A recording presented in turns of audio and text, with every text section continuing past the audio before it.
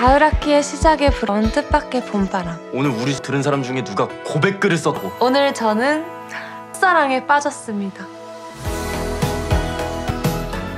안녕하세요. 아 민호 너 아니? 하늘이 형 아니에요?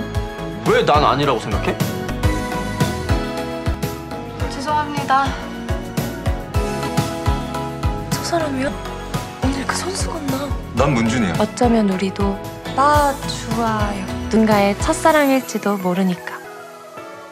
무보정 노필터. 청춘 로맨스. 디어 M